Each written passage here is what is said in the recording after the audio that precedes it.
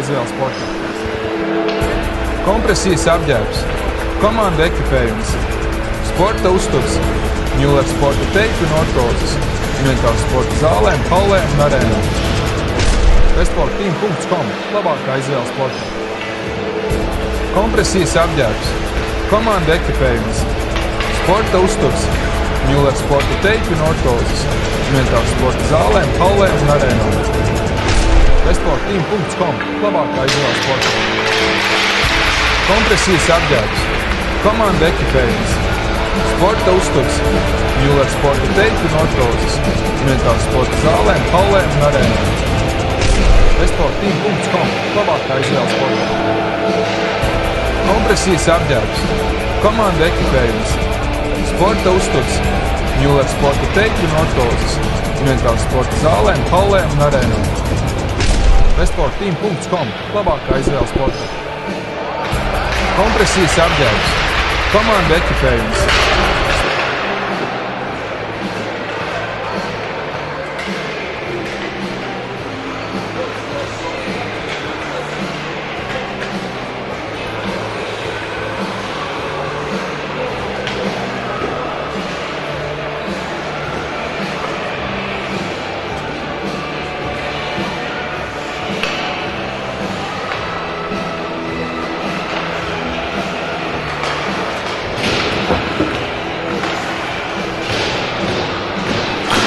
Sveicināti, darbie hokeja draugi! Šodien esam Jelgavā, kur nu pat kā sākusies spēle starp vietējos Zemgals vienību un Rīgas Dinamo juniors hokeistiem. Jā, nu šodien, šodien Dinamo juniors sastāvā viņa vārtos atgriezies Mārs Jučers, kurš iepriekš vairākas spēles izlaida, jo kopā ar Rīgas Dinamo bija devies izbraukuma tūrē. O, tikmēr, tikmēr abas komandas ir spēcīgākajos iespējamos sastāvos. Jā, Rīgas Dāmo juniors vienības sastāvā nav Mārtiņa Poreja un Artūrs Salīgs, kur abi šo sezonu pamatā tomēr ir spēlējuši šajā klubā. O, tāpat, tāpat Zemgals hokejists iztiek bez viestura Cimermaņa, viena no komandas bal, galvenajiem aizsargiem. Tikmēr pašlaik Zemgals hokejists ar rīpu, ar rīpu mēģina izmantot kādu uzbrukumu, tas gan neizdodas, Artūrs Lovinovs izsit rīpu ārpus. Un šodien, šodien Zemgals vārtos stājies Toms Nuka. Toms Nuka šodien nav aizdījis pārlieku daudz spēles. Zemgals pamatvārds sargs ir Rējens Repš. Viņš šodien vakar bija pieteicis, taču, taču spēle pašlaik ir no komandas rezervistu soļa. Un tikmēr pašlaik arī pa Zemgals hokejs ar saviem vārtiem sāks slēdīt uzbrukumu. Ir tāds Kacinski stāv, piespēle labo malku, ko malku gan tā nesasniedz. Un tiek fiksēts pirmais pārtiens šajā spēlē. Jā, nu atgādāsim, abas komandas iepriekšējo reizi tikās 1. novembrī. Toreiz novembrī nogalē Piņģu ledus hallē Zemgals hokejs neatstāja nekādas cerības saviem pretiniekiem. Toreiz izcīnot uzvaru ar pārliecinošo 6-0. Nu, un vēl iepriekšējās cīņās nu, spēles bija krietni aizstošākas. Tātad oktobra izskaņā ar, ar 3-2-1 pēcspēles metienu sērijā Zemgals hokejs izcīnīja uzvaru. Nu, un arī septembrī pārāk bija Jālgaunieki, toreiz svinot uzvaru ar 3-1.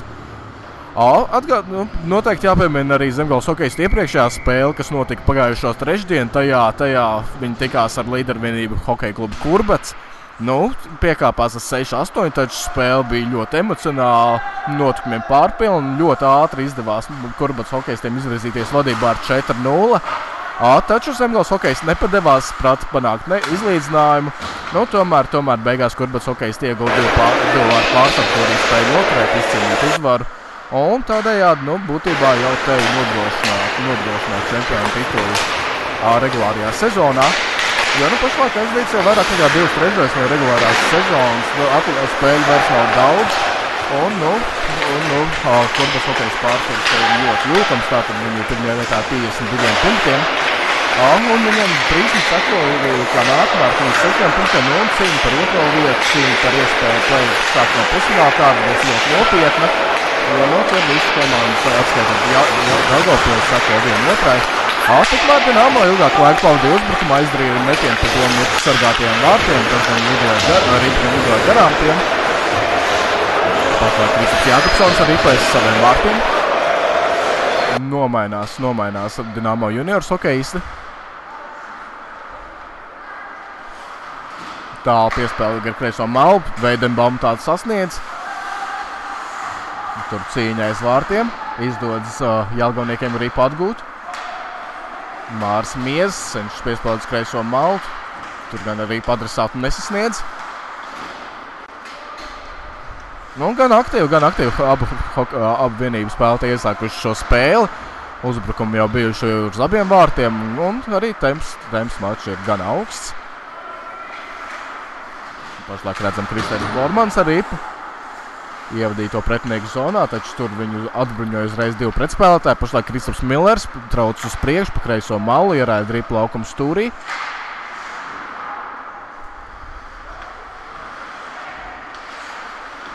Cīņa pie laukuma apmales.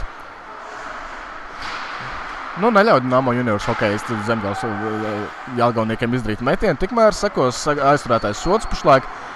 Skailiskajā vairākumā nonāks Rīgas Namo juniors vienība. Nu, un atskan tiesneša svila par pretinieka turēšanu noraidīts tiek 19. numurs zemgals vienībā.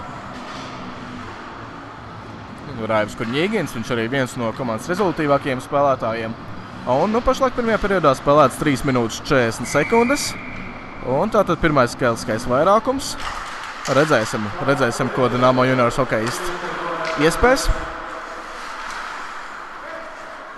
Dmitrijs Kumarņīts cīnās ar, par rīpu aiz vārtiem. Piespēle uz zilo līniju, Tom, Toms Bernhards.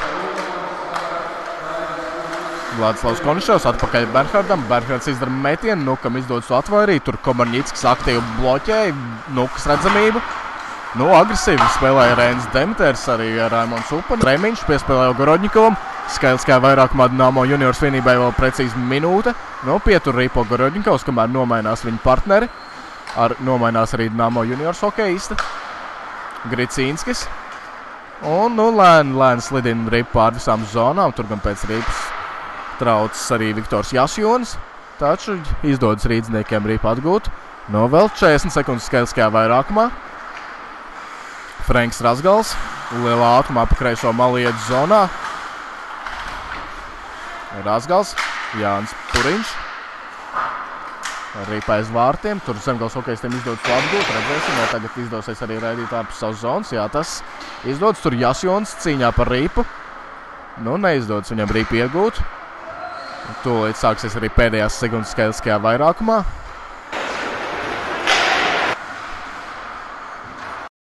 Nu, neizdodas, nesaprotas, savā starpā rīdznieki.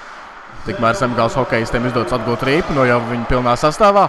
Izdara metienu pa vārtiem, Jučers ar to tiek galā. Pie ripas vēl joprojām zemgāles hokejs, tur metiens tie, diezgan lido tālu no vārtiem. Piespēles vārtu priekšu, vēl viens metiens. Un tikmēr atskan tiesneša svilpa, iemetiens sekos Damo juniors aizsardzības zonā. Jānis jau minēja, ka iepriekšējā spēlē Zemgals hokejs ar 6-8 piekāpās Kurbats vienībai. Nu, vēl iepriekš, vēl iepriekšējā spēlē viņi ar 1-3 atzina arī monarhu pārākumu. Bet, ja atcerēsimies, vēl agrāk Zemgals hokejs bija iekrājuši ļoti skaistu uzvaru sēriju, nebija zaudējuši astoņās spēlēs pēc kārtas. Nu, diemžēl neizdevās, neizdevās viņiem šo sēriju turpināt. Neizdevās arī līdz ar to nonākt augstāk līgas kopvērtējuma tabulā. Pagaidām šobrīd Zemgals hokejs tur 4. vietā. Nu, Dienāmo juniors hokeistiem ir viena pa punktu vairāk, viņi trešie šobrīd. Dienāmo juniors hokeistiem pēdējā spēle bija pret Daugopilu, to viņi uzvarēja ar 7-1, taču iepriekš ar 3-4 piekāpās arī Ozolnieku Monaras vienībai, atcerēsimies šo, šo spēli. A, tikmēr, tikmēr, nu, kad var rīps savā aizsarga cimdā un sekosiem tiens uh, Jālgaunieku aizsardzības zonā. Pašlaik pirmajā periodā spēlēts 6,5 minūtes. Iemetienā Kristaps Millers un Pēters Priediņš. Izdodas rīdzniekiem izcīnīt ripu līdz vārtiem, taču tur, tur bursmā tomēr acīgāk ir laukuma saimnieki. Un nu, vēl viens metiens no, no apmales, to met, meiteni veids Pēters Priediņš. Un, vēl viens iemetiens, vēl viens iemetiens uh, Jālgaunieku aizsardzības zonā. Laukumā tie paši virknējumi. Šoreiz jau Dienāmo juniors hokeistu uzvar iemetienā, taču turpat zilās līnijas arī pazaudē.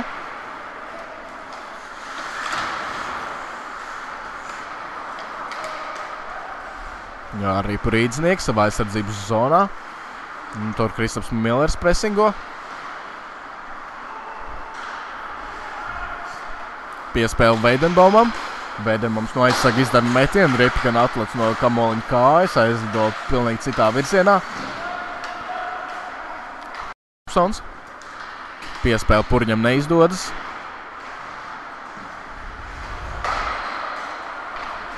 Nu, tikmēr Namo juniors ok izdodas kārtībā uzbrukumā šķiet neliela pārsvaru pēc, pēc aizdītās skaitļas kā vairākumu viņi ir iz, ieguvuši. Nu, un atcerēsimies arī, arī skaitļus kā vairākumā, nu nemaz netik slikti gāja rīdziniekiem pāris reizes viņiem izdevās. Uh, gan nopietnam draudēt uh, Jāgaunieku vārds Rihards Remiņš piespēlē ripu uz priekšu, viņiem to partneris atstāja. Piespēle uz labo malo, Gorodņikovs ar ripu. Izdara metienu. Nu, un Jučaram izdodas ripu tvērt. Spēlēts pirmajā periodā 7 minūtes un 48 sekundes. Nomainās abu komandu sastāvi.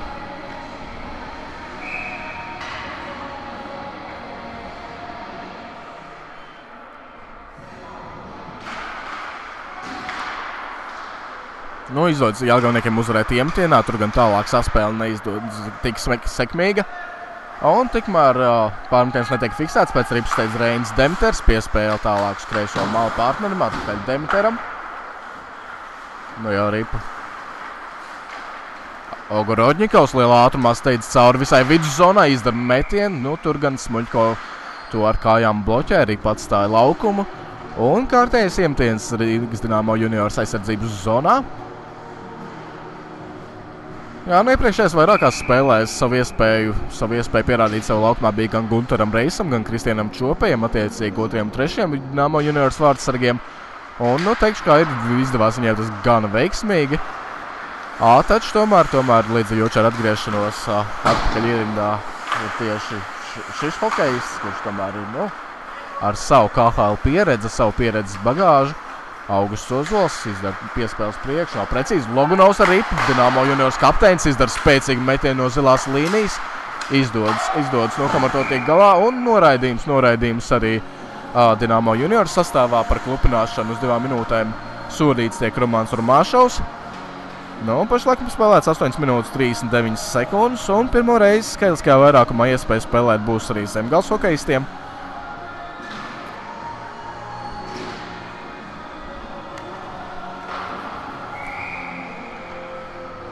Diemtienā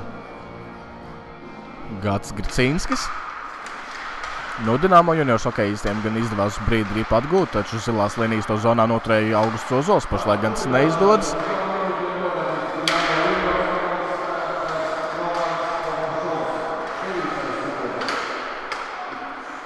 Gricīnskis ar ripu. Tur gan partneris vēl bija zonā, vajadzēja nedaudz pieturēt ripu pirms zilās līnijas. Spēku paņēmienu izdara Vladislavs Koniševs. Arī pat pakaļ pie Gricīnska. Metiens no zilās līnijas, tur vārtu priekšā aktīvi darbojās Komuls, necentās liekt Jočeram redzamību. Nu, pusminūte, pusminūte skaidrs, kā vairākumā ir aizvadīta, kā sakos nākamais iemetiens Jočera vārtu priekšā. Laukumā Jelgavniekam nāk otrais uzbrucēju virknējums. Ar klāvu plānīcu iemetienu punktā. Plānīts gan iemetienā klūp, neizdodas uz zilās līnijas ripnotrēdas zonā. Tur jau otrā laukuma galā to pietur Toms Nuka.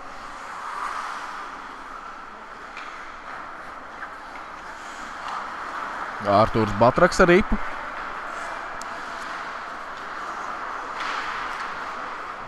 Nu, arī Batraks ir viens tomēr no rezultātīvākajiem zemgāles hokeistiem. Viņš 20 spēlēs atzīmējies ar 12 punktiem. Nu, neizdodas, neizdodas šoreiz. Dienāmo juniors hokeistiem ir ipraidīta ārpus zonas, tur veiksmīgi uz zilās līnijas nospēlēja 23. numurs.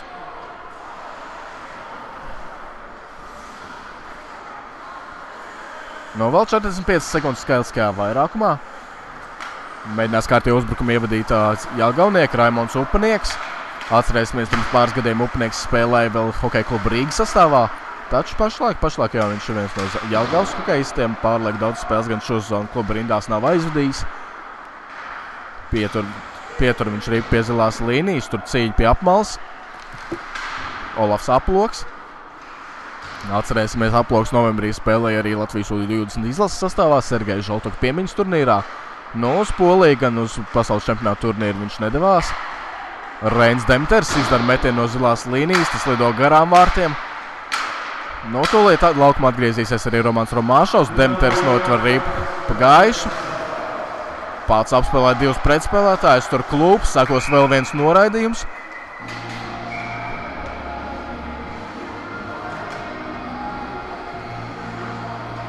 Nu, un uz noraidīto soliņu dodas Toms Bernhards, viens no pieredzējušākajiem komandas aizsargiem.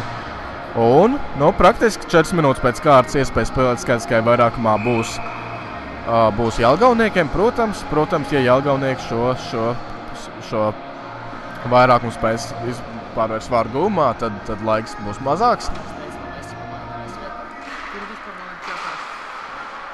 Nu, iemetienā Jelgauniekiem izdodas uzvarēt. Tur Ogorodņikovs laukums stūrī. Aizturētais sots, nomainīties dodas Toms Nuka. Nu, neizdodas, neizdodas iz, izveidot saspēli.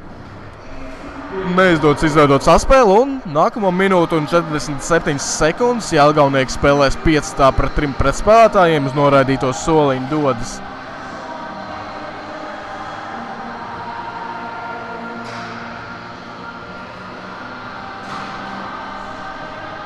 Dodas kāds no junioriem.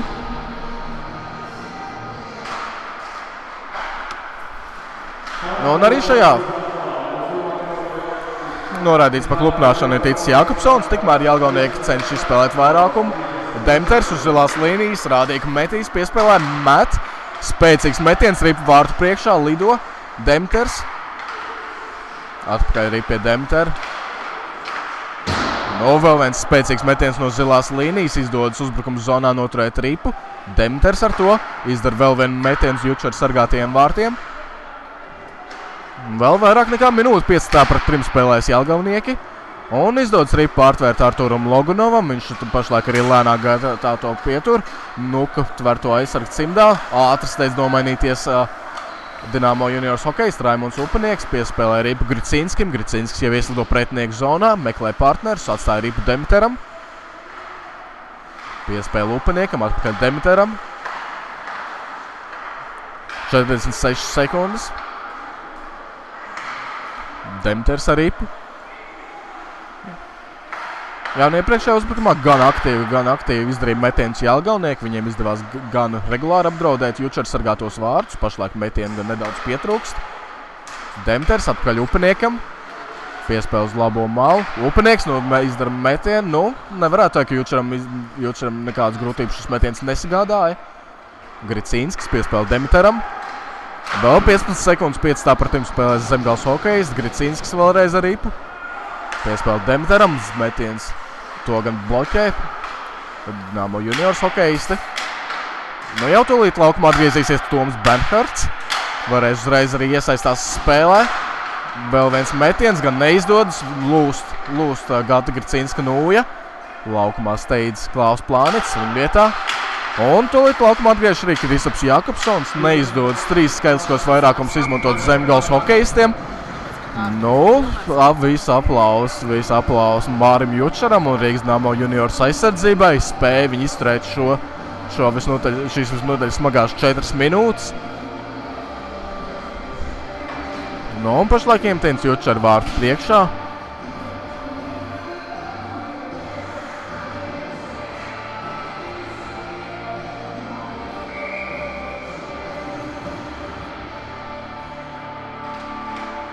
Izdodas Jālgavniekiem iemetienā uzvarēt. Tur uzreiz Jorens Grauds izdara metienu no zilās līnijas.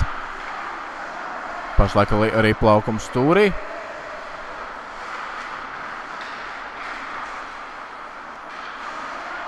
Ārtūrs Batraks pašlaik par to cīnās.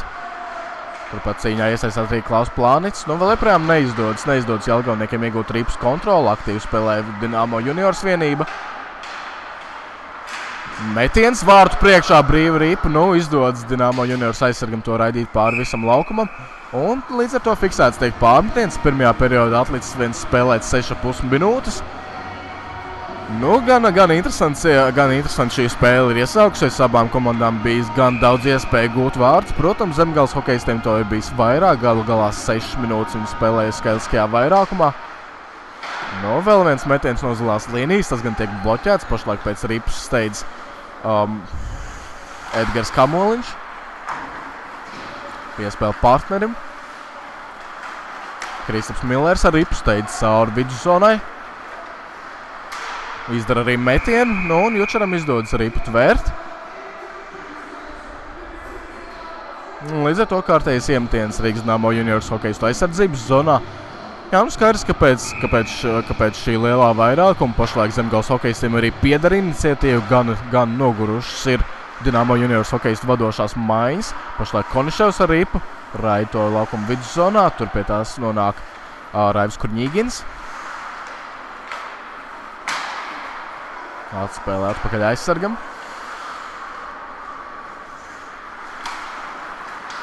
Kristaps Millers ar ripu. Lielā ātrumā trauc cauri viduszonai, tiek garām diviem pretspēlētājiem.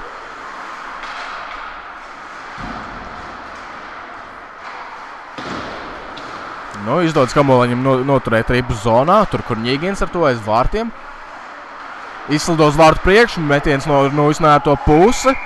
Nu, skaista epizode, neliela arī asuma, pagrūž pretinieku Iegors Samfalovs. Taču gan labi iespēja, gan labi iespēja zemgals hokeistiem gūt vārdus. Nu, Jučaram, Jučaram izdodas ar šo situāciju tik galā. Pašlaik pirmajā periodā atliecisko spēlēt 5,5 minūtes un sekos kārtējais kārtējais iemetiens. Dināmo junioršu hokeja aizsardzības zonā iemetienā Rihards Remiņš.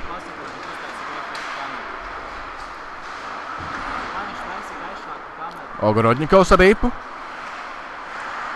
Jā, nu pašlaik, pašlaik maz darbi Tomam Nukam. Sen Dināmo juniors hokejs nav bijuši nevienā uzbrukumā. Aploks izdara metienu, tas gan lido garām vārtiem. Aploks arī piespēlē Olgu Rodņikovam. Piespēle gan neizdodas, adresātu tā nesasniedz. Nu, un Rīpa pie Dināmo juniors vienības Arturs Loganovs ar to. Cīņa laukuma stūrī. Un fiksēts tiek pārkāpums. Šķiet par klupināšanu noraidītos soļu dosies neviens cits kā astotais numurs zemgals vienībā Raimunds Upanieks. Un brīdī, kad līdz pirmās trešais izskaņai atlicis spēlēt nedaudz mazāk par piecām minūtēm, otro reizi šajā spēlē skaitliskajā vairākumā spēlēs rīdzinieki. Nu, redzēsim, atcerēsimies iepriekšējā vairākumā rīdziniekiem izdevās izveidot pāris gan bīstamas situācijas. Nu, redzēsim, redzēsim, ko, ko jaunie, jaunie hokejs iesāk šoreiz. Īņu Čukals arī iespēlēs vārdu. Franks Rasgals, spēlē atpakaļ. Smuļko rīt vārtu priekšā, neizdodas Razgolam pa to trāpīt. Razgals ar rītu. Cīņā uz lauku vārtiem piespēles priekš, tur Džukals arī izdara metienu. Un pretuzbrukumā Viktors Jašions ar rītu pieta pašlaik to. Tur tie pretspēlētāji, uzdodas pēc viņu. Nu, neizdodas, neizdodas Dinamo juniors hokejistiem atgūt rītu. Ļučinskis ar to pašlaik. Izdara metienu un gūst arī vārtus. Gūst arī vārtus skaidriskajā mazākumā. Jā, nu gan, gan aktīvi uzbruka Rīgas Namo juniors hokejs, taču izdevās Jašjonim ripu, ar ripu tik līdz pretinieku zonai piespēlēt to Gricinskim. Nu, Nu, un cīņķim izdodas pārspēt Lāriju Učeru brīdī, kad līdz uh, pirmā perioda noslēgumam palikuši 4 minūtes. Vadībā, vadībā izveidas Zemgals hokeisti. Taču vēl nākamā minūte un 14 sekundes uh, rītnieks spēlē spēliskajā vairākumā. Viņiem vēl viss iespējas panākt neizšķirtu. Zemgals jau upakās. Viktora Jasļoja, 9. un 15. Gulgātos Vilcīnskis, 89. Čauksters, kurš jau ir 11. vārdu guvis šajā sezonā. Viņš līdz ar to ir panācis Miku Komulu, kuram arī 11 vārdi.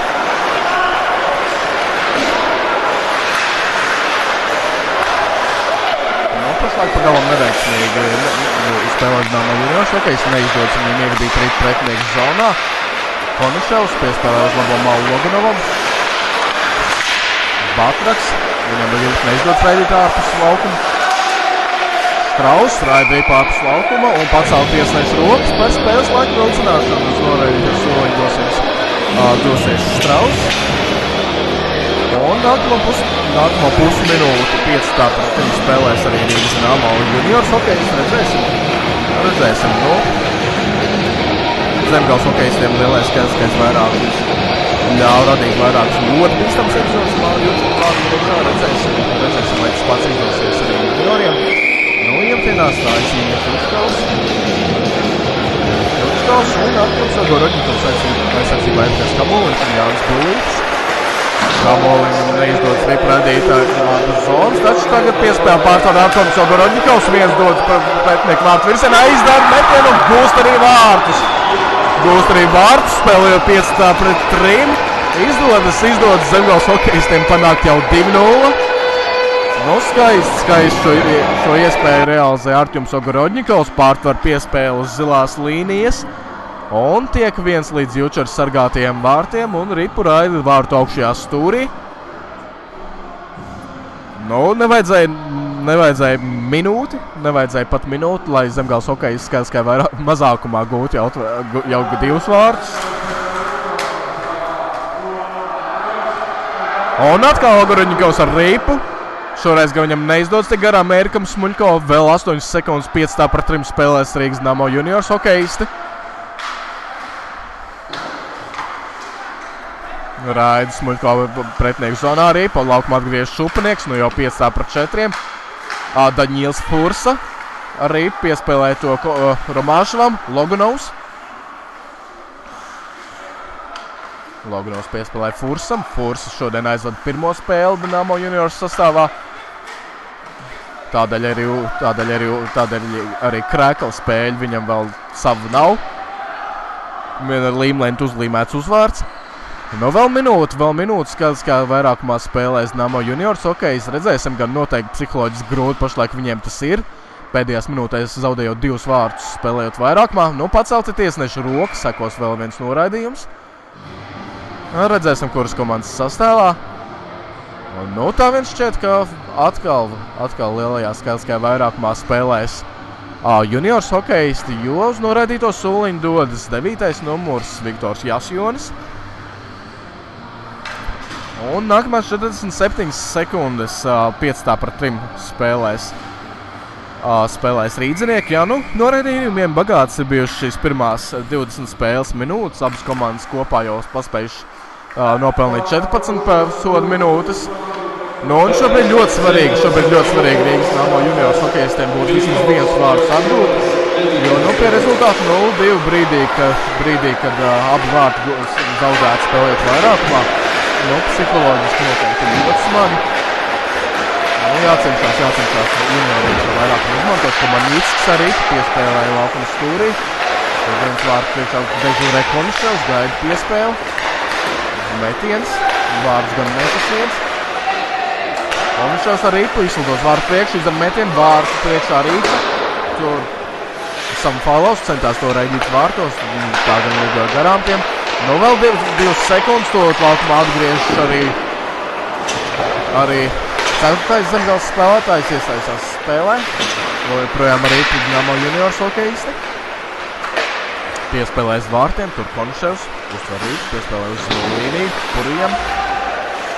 No Purins izdara metiens, strājas bez bloķē. Un pašlaik jau sākas pēdējā minūte šajā trešdaļā. Noturis pretinieku vārtam lauzās, lauzās Gārds Gracīnskis, tas gan neizdevās, viņi atbruņoja uzreiz trīs rīdznieki. Nomainās abu komandu sastāvu, ilgi, ilgi tiešām laiku pavadīja laukumā Konševs, Logunovs un Fursa. Nu, tikmēr pašlaik, pašlaik arī Jālgals hokeisti cīņa laukuma stūrī un arī palido pār, visam, pār visām zonām. Toms Benhards, aktīvi presingo Rihards Remiņš, veiksmīgi Ogorodņikovam rīt, viņš to atstāja Remiņam. Nu, gan pārliecinoši, gan pārliecinoši arī skaitliskajā mazākumā uzbrukumā spēja darboties zemgals hokeisti. Un tūlīt laukumā atgriezīsies Viktors Jasjons, nu jau rīt pēdējās pirmās trešdaļas sekundes. Piespēle, nu vēl pēdējā iespēja izdarīt metienu. Nu jau šķiet tā ir garām, jā, atskan, atskan fināls vilpa. Nu, līdz ar to mača pirmais periods ir noslēdzies, noslēdzies ar rezultātu 2-0 Zemgals hokejs labā. Nu, atgādināsim, atgādināsim, ka nu, pirmos vārtus Jālgaunieki guva vien nepilns 4 minūtes pirmā perioda beigām. Tobrīd Gats Gricins bija tas, kurš skaitliskajā mazākumā tos guva. Nu, un nepilnu minūti vēlāk skaisti spēlējot trietā pret pieciem uz pretinieku vārtiem izdevās Artjums Ogorodņikovs, panāca jau 2-0. Nu, daudz noraidījumu, daudz noraidījumu pirmajā periodā. Neizdevās skaitliskajā vairākumā izmantot Dienāmo juniors hokeistiem. Nu, redzēsim, redzēsim kādus ko, ko, kā sapurināt komandas spējas Vjačeslavs no Zaurovas ģērbtuvē. Nu, un tad jau tiekamies otrajā trešdaļā. Kompresijas apģērbs, komanda ekipējums, sporta uztur.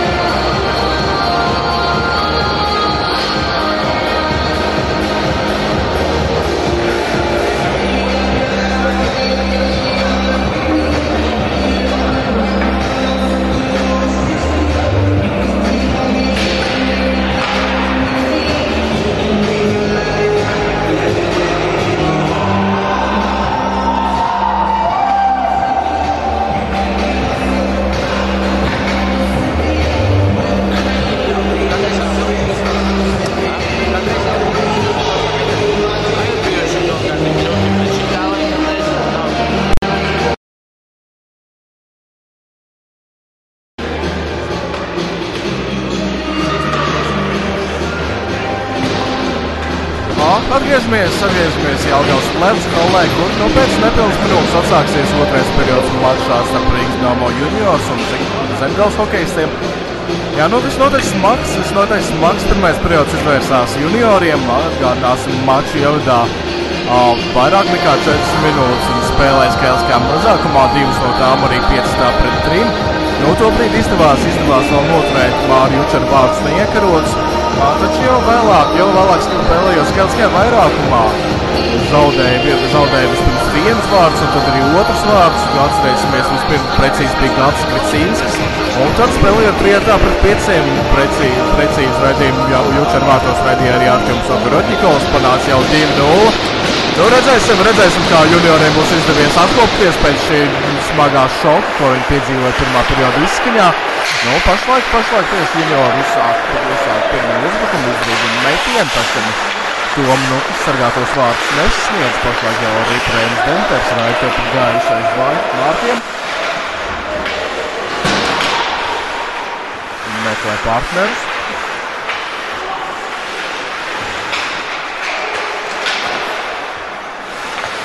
Rikārds Vēmiņš izdara metienu. Nu, izdodas ar KSR to atvairīt Jučaram. To apgambīdzu zonā. Jau atgriežas junior aizsardzības zonā. Ir aktīvi pretsingo pretspēlētāji. Nu, visnotaļ, visnotaļ aktīvi arī Zemgals hokejs iesākot šo periodu. Tikmēr Arturs Loginovs dodas pa labo malas priekšu augstā tempā. Viņš arī Dināmo juniors kapteinis. Ogorodņikovs. Nu, centās veikt piespēli, tā nebija precīzi, arī pagriežas pie rīdzniekiem. Roberts Vīksna, āto piespēli grib trešo malu, adresātu nevienu nav. Cīnskas arī, rāda pretnieku zonā, tad pirmais pie tās Vilkons Jasjons, 51 vārtiem, tad gan trāpums un vārdu konstrukciju. Daņos Fursa piespēlē Loganovam. Tālāk jau piespēle Romāšanam, Romāšanos izdara metienu, nu, tas gan tika bloķēts. Labs Tomuks sargātos vārdus nesasniedz. Loganovs ar rītu, cīņa laukums stūrī, tur trīs pretspēlētāji, viņiem izdodas rītu apgūt. Piespēle Jāsjonam. Un prasmīgi nospēlēja Tomas Bernhards, atņem viņam rītu. Cīņa pie laukuma apmals. Nu, metiens no zilās līnijas, viņa pārlieku spēcīgs, taču tas jūtas, ka arī viegli tiek galā. Nu, jau tūlīt jau būs divas minūtes līdz šajā periodā jau ir iesākusi Zemgals hokejs, pavisam noteikti. Vīksa, piespēlē ar Maršalam, tālāk uz priekšu Žučkovam. Žučkovs iesdo pretinieku zonā, apsado vienu pretspēlētāju, izdara metienu. Nu, un arī ir pie Toma Nukas. Un fiksēts tiek arī noraidījums, pirmais, pirmais noraidījums šajā periodā. Nu, atgādināsim, iepriekšējā periodā abas komandas kopā nopelnīja 14 sodu minūtes. Taču pašlaik uz norādīto soliņu dodas 23. numurs zemgās vienībā Jorens Grauds. Un divas minūtes skats, kā vairākumā iespēja spēlēt būs junioriem. Iemetienā Inga Čučkovs.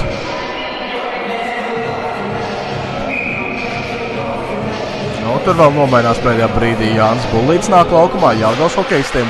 Viens no pieredzējušākajiem komandas spēlētājiem. Izdodas uzbrukuma zonā arī noturēt junioriem. Nu, nu jau arī Kristaps Millers. Piespēlēja to partnerim. Nu, tur neveiksmīgi nospēlēja arī Jālgaunieks savā aizsardzības zonā. Varēja viegli ripraidīt pār visām zonām. Tā vietā izvēlējās piespēlēt. Bet piespēle bija nesakmīga. Nu, gan arī, nu, gan arī atstāja, atstāja Jālgaunieku aizsardzības zonu. Franks Rasgals ieslo pretinieku zonā. Apspēlē vienu pretspēlētāju, izdara metienu. Nu, un tur ir pie Toma Nukas. Jā, nu gan, gan labi divi uzmetieni bijuši Namo juniors vienībai šajā skaitiskajā vairākumā, kurā aizdīt pagaidām vien 37 sekundes. Un iemetiens sekos, sekos Jālgaunieku vārtu priekšā. Arī pie rīdzniekiem. Smuļko uz zilās līnijas. Piespēlē Koniševam. Arī pie vārtu priekšā Koniševs ar to. Smuļko. Smuļko izdara metienu. Nu, Toms, nu, kur metienu brīdī īsti neredzēja, ka ap spēja pārvietoties, metienu atvairīt. Labi iespēja gūt vārdus bija rīdzniekiem. Nu, neveiksmīgi tur saspēlējis rīdznieks savā starpā. Smuļko rīpājas vārtiem, tur Konšovs, piespēlējot to tālāk Komarņītskim. Nu, visnotaļ gausā tempā, skaidrs, ko vairākumu cenšas izspēlēt arī rīdznieku un aizturētais sots. Aizturētais sots jau otro reizi šajās, jau trešo reizi šajā spēlē rīdznieks spēlēs 5 pret 3, nākamās 40 sekundes. Nu, un no redīto soli par klupināšanu dodas 68. numurs Jānis Bulīts. Jau tikko minēju, Bulīts ir viens no pieredzējušākajiem komandas spēlētājiem. Viņš arī komandas kapteiņa Ogarodņikovu palīgs. À, un jā, pašlaik, pašlaik nākamās 40 sekundes rītnieks spēlēs 5 pret 3. Iemetienā izdodas uzvarēt ripu, gan uzreiz pie Toma Nuks nonāk. Nu, un būs vēl viens iemetiens, vēl viens iemetiens Jālgaunieks aizsardzības zonā.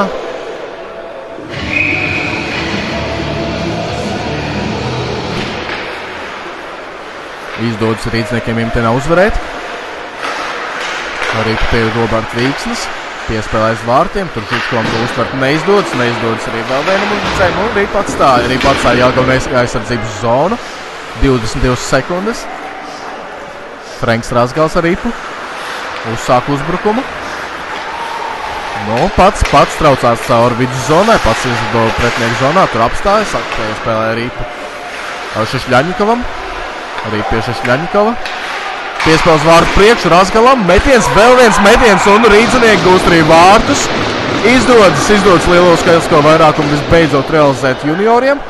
Ap brīdī, kad otrajā, trešajā spēlēts 4 minūtes, un brīdī, kad līdz lielā skaitliskā vairākuma izskaņai bija atlikusi vēl precīzi sekunda, izdodas 1-2 panākt uh, junioriem. Nu, vēl, vēl minūte un 20 sekundes uz noraidīto soļu pavadīs Jānis Bulīts. Vēl 2 minūte un 20 sekundes. Rīdzniekiem visas iespējas panākt arī neizšķirtu.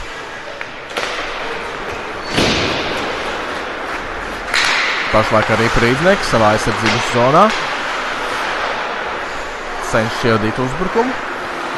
Arī Kristaps Jākopsons piespēlēs priekšu Logunovam. Nu, Logunovs ieslido pretinieku zonā. Aiz vārtiem. Puriņš. Atpakaļ Logunovam.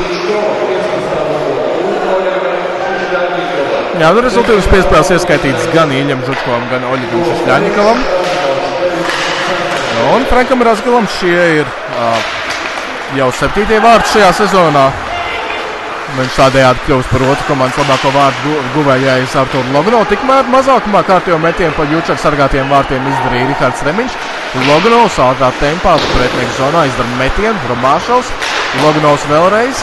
Rīpa vārtu priekšā, tur gan Fursam pie tās neizdevās nokļūt. Jāgaunieki raida to pār visām zonām. Vēl 20 sekundes skaits, kā vairākumu atletisko spēlēt junioriem. Eriks Smuļko piespēles priekšu Samu Faluvam. Samu Falovs iesdo pretinieku zonā, tur aktīvi pret viņu cīnās Gricīnskis, atbruņo no Rīpas. Komiševs. Smuļko Ripu vārtu priekšā, tur cīņa, divi pretspēlētāji, ripu nav piespiesti, Komarnīckis, laukumā atgriežas Jānis Bulīts, uzbrukums gar turpinās, un izdodas Bulītiem atgūt ripu, tur pat zilās līnijas, taču līdz uzbrukumam Jāgaunieki vēl netiek. Nu, aktīvi, aktīvi iesācies arī otrais periods. Izd, izdevies Rīgas Namo juniors hokeistiem atgūt viens vārds, atgūt pārliecību par saviem spēkiem. Pašlaik arī Minājevs piespēlē uz labo malu, tur gan piespēlē adresātu nesasniedz Gricīnskis ar ripu.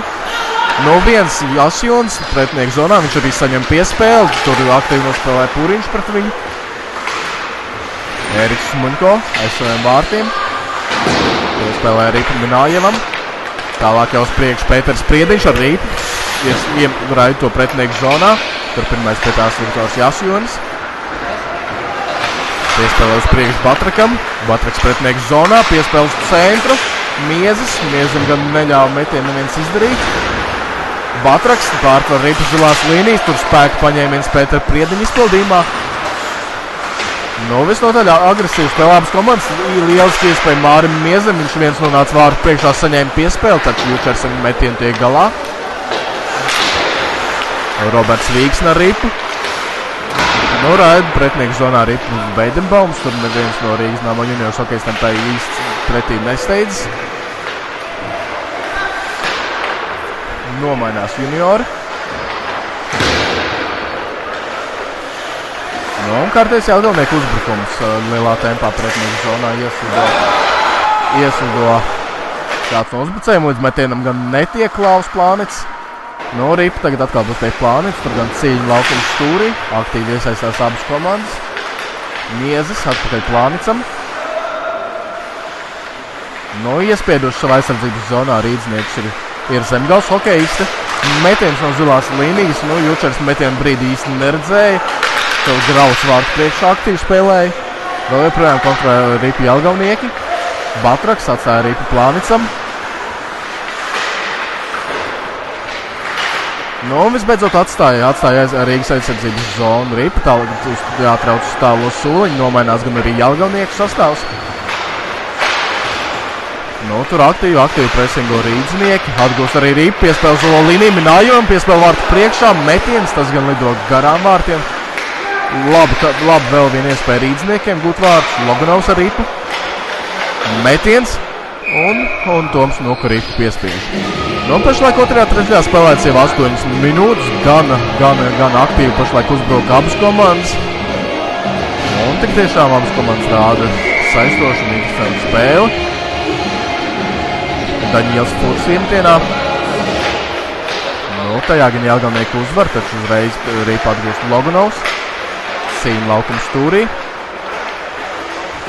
Nu, tur Batraks un, un Kamoliņš pret viņu. Aiz, arī pie Jāgauniekiem piespēles kreiso, kreiso malu. Taču fiksēta tiek zona, nedaudz paceidzās Raims Kurņīgins. Un līdz ar to, līdz ar to iemtienas sekos laukuma vidus zonā.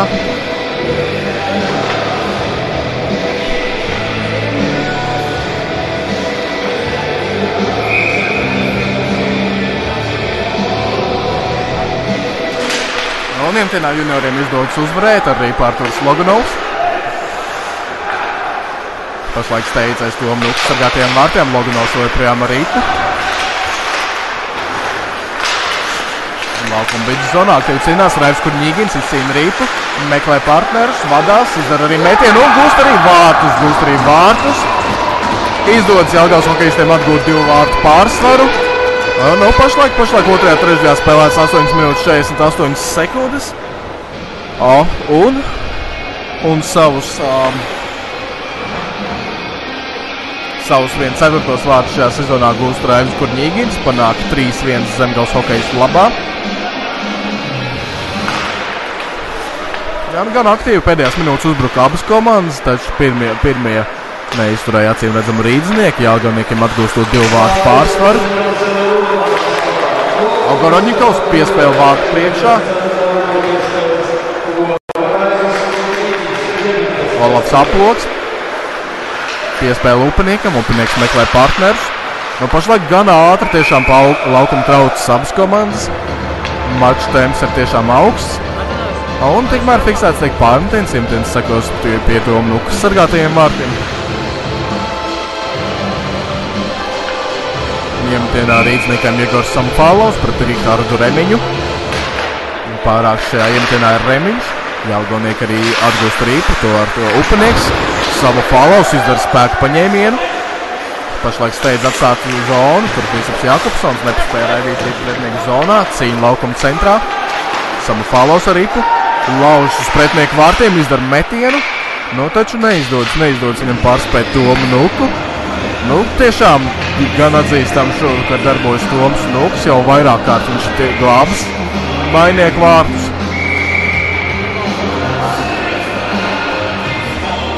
Nu, un iemtienā Pēters Priediņš un Gats Kircīnskis. 9 minūtes 33 sekundes aizdīts šajā periodā. Nu, tur Roberts Vīgs centās piespēlēt rīpu. Pēters Priediņš ar to tagad izdara metienu. Arī pat no laukuma stūrī. Neizdodas uz zilās līnijas to noturēt, un pretinieki virzienā 2 pret 1 Jasons piespēle. Un, nu, un tiek norādīts ziemtienu, vārds šķiet netika gūti, Jučers gan atkāpās tik tālu, ka vārdu konstrukcija atstāja savu vietu. Nu, tiešām lieliska, lieliska epizode, izgājiens 2 pret 1, Jasons piespēlēja rīpu, taču, taču Jelgavniekiem 4-1 panākt šajā epizodē neizdevās. Iemetienā uzvar Jāgaunieki. Metiens no zilās līnijas, gan at, at, tiek bloķēts. Nu, un arī atstājas zonu. Līdz ar to sakās vēl viens iemetiens. Šoreiz gan noraidījums par spēles laika vilcināšanu neskos, jo Rīta laukumu atstāja jau visu spēlētāju soliņiem. Iemetienā Inģis Žutkovs, Gats Kircinskis.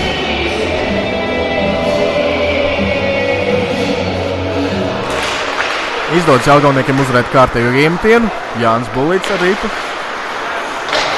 Minājevs. Raida ripu pretinieks zonā. Tur Toms Nuk to aizvārtiem nepietur. Neizdodas viņam tas. Smuļko. Mēģina izdarīt metienu, tas gan tiek bloķēts. Tur aktīvi nospēlē Mikls Komuls, zemgājas vienības rezultīvākais spēlētājs. Komuls pašlaik visā līgā ir 11. rezultīvākais. Viņš 20 spēlēs atzīmējies ar 22 rezultātu punktiem. Ātrāk pašlaik tikmēr Rīps turpina kontrolēt Jālgavnieku. Tur gan Viktoram Jašonim neizdevās apspēlēt reiz divus pretspēlētājus. Rāzgāls Rīpa atguva, izdarīja arī metienu pa vārtiem. No pašlaik tālāk piespēja uz labo malu. Tur bija Cīnskis arī centās to piespēlēt Bulītam, tas īsti neizdevās. Minājevs tālu piespēlē uz priekšu. Tur Ilja Žučkovs izdara tālu metienu. Nu, un Toms Nuka arī piespiež. Līdz ar to Jemtienis sekos zemgals bukejas aizsardzības zonām. Jā, nu kā jau minēju, kā jau minēju, pirmajā trešdaļā līdz regulārās sezonas noslēgumam nekas daudz nav palicis. Komandām jau ir jādomā, cīņa par otro vietu būs gan spraiga. Jo nu gan Prīsma Rīga, gan arī abas laukumā esošās komandas šķir vien divi punkti. Līdz ar to, līdz ar to nu, abas, visas trīs šīs vienības noteikti pacīnīsies par iespēju cīņu par Latvijas čempionu titulu sākt no pusfināla kārtas, kā to paredz līgas nokums. Tikmēr, tikmēr cīņa laukuma viduszonā, tur arī pašlaik Artūrs Batraks, piespēlēs kreiso malu. Notur, notur uzbrukuma zonā arī pieaugalnieki. Aiz vārtiem tai pakaļ steidz Artūrs Batraks, viņa spēku paņēmiens. Nu, un šoreiz jau Rendam Graudam neizdodas ripi noturēt uzbrukuma zonā, taču kontroli kontrol viņi saglabā. Kristaps Jākupsons ar ripu, tur aktīvi Mārs Miels pret viņu steidz. Piespēle Romašavam, 2 pret 2 uzbrukums. Pursa, metiens, nu izdodas nokam arī patvairīt. Labi, labi izdevību radīja juniori. Izdodas arī uzbrukuma zonā noturēt ripu. Nu, pašlaik pēc ripas tur steidz. Un pirmais pēc tās nonāk Toms Benhards, taču klūp. Artūrs Batraks, 3 pret 1, atpakaļ Batrakam ripa. Nu, taču, taču tur aktīvi nospēlēja Jučers ar nulli, neļāva Batrakam ripu uzņemt. Koniševs. Apspēlē pretspēlētāji, izdara metienu, tur vai iespēja vārtu priekšā, savam fālam gan ripu vārtos neizdodas raidīt. Komarņīckis. Nu, izdodas saglabāt ripu, izdara arī metienu, izslīd ripu, ripu vārtu priekšā nepiespiesta. Nu, neizdodas, neizdodas junioriem pievi, tomēr raidīt vārtos. Pašlaik arī jau pretuzbrukumā aktīvi steidz pretspēlētāji. Eriks Smuļko gan ripi notur. Pašlaik jau cīņa turpinās laukuma stūrī. No pašlaik ļoti aktīvi uzbrukuma hokeja spēlē abas komandas. Uzbrukums, uz, uzbrukumam uz Jučers vārtiem uzreiz sako ātru uzbrukumu pretējiem vārtiem. Un tā, un tā jau vairākas reizes pēc kārtas. Un gan bīstam, gan bīstam abas komandas apdraud pretinieku vārdus, veido labas, veido labas iespējas. À, taču rezultāts vēl joprojām 3, minūte, 3 pret 1 līdz, līdz otrās trešdaļas beigām 7 minūtes 15 sekundes. Un, un izdodas imtenā uzvarēt Jāgauniekiem. Un tur gan piespēle nesekmīga. Atstāja, atstāja rīznieku aizsardzības zonu, pēc tās steidz Reins Demeters un Veidenbaums. Priediņš ar rīpu. Nu, pazaudēja viņš šo rīpu. Priediņš. Nu, jau pretējā laukuma malā Rikārds Remiņš steidz vārtu virzienā. Tur izturpinā viņa mēģina kavēt Jākopsons. Tas īsti līdz galam neizdodas. Metiens, spēcīgs metiens Ogorodņikova izpildījumā. Arī papildināja pie Ogorodņikova. Viņš piespēlē Remiņam. Ogorodņikovs. No pazaudējuma arī Ogorodņikovs. Tomēr vēl joprojām ripa. Jā, galveniekiem tur Rikārds Remiņš ar to. Aktīvi cīnījās Matiem Ogorodņikovs. Tur jau izkopus metienu bloģēja Jākopsons. Taču metiens tikai tā lidoja garām vārtiem.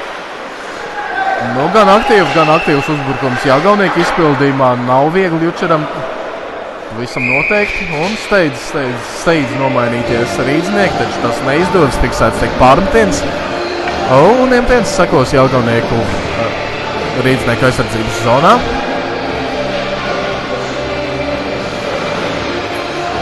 Pienāk Gats Gricīnskis un Pēters Priediņš rīzniekiem.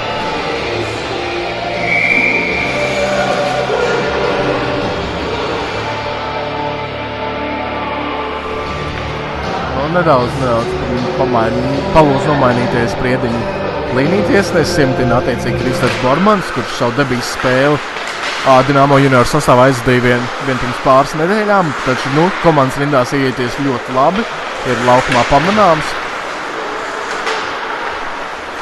No pašlaik arī Gricīnskis atstāja to Komulam. Tur aktīvi spēlē Puriņš, Gricīnskis. Atstāja, atstāja Bullītim Ripu. Piespēle Jasjonim. Linārds Kaktubuls pat viņu tur cīņā iesaistās arī uh, Komuls. Tikmēr, tikmēr Jasjons jau arī centās izspēlēt to vārdu priekšā. Saglabā arī piespēlē metiens. Rīpa nav piespiest, Rīpa vārdu priekšā. Nu, un izdodas līdzniekiem to raidīt ārpus savas aizsardzības zonas. Bulītis. Atstāja Rīpa Komulam. Bulītis piespēle. Nu, ļoti labi izdevība. Tur arī šeit vārds stabiņš. Nu, te ar visu ripu, te ar visu ripu Māriju Učer vārtos cenšas iegrūst zemgalnieki. Tiešām ļoti aktīvi pēdējās minūtēs ir viņu uzbrukumi. Un, nu jā, vārds arī glāb vārds stabiņš. Un pašlaik, pašlaik 5,5 minūtes atlicis, ko spēlēt otrajā periodā. Iemetienā Ilģis Žučkovs. Jemtienā gan zaudē. Pirmais pie Rips Klaus plānis izspēlē vārtu priekšā. Tur metiens no nulles nērto pusi. Nu, nespēja, nespēja rīznieki aizsardzībā spēlēt gan prasmīgi, nespēja atbrīvot vārtu priekš no pretspēlētājiem. Attiecīgi problēmas rodas gan, gan Mārim Jučeram, gan Nāmo junioram. Tikmēr aizturētais sots. Aizturētais sots un Nu, un atelpas brīdis, atelpas brīdis Nāmo juniors vienībai noraidījums sekos uh, Jelgavnieku rindās.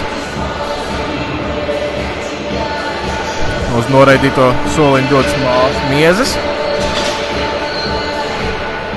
Un jau trešo reizi šajā periodā skaidrs, ka vairākumā spēlēs līdznieki. Atgādināsim periodu ievedāmu lielo skaidrs, ko vairāk viņiem izdevās pārvērst arī vārtu gulmā.